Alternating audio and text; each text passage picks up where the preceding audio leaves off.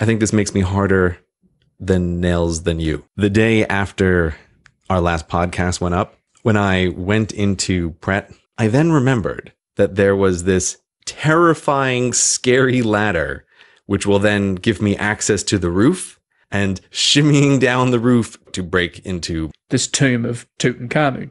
Could I imagine a better place for someone to find a secret door than in an Egyptian tomb?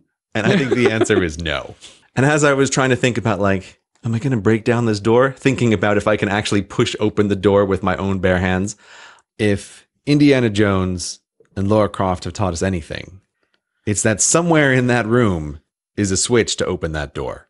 On the cat's eyes, somewhere, somewhere, even though it's a thousand years old, there's some clockwork that'll just have that door just recess into the wall and slide over. But I'm not going to do that. I think you're a bloody legend for doing that. You are the Indiana Jones of locks.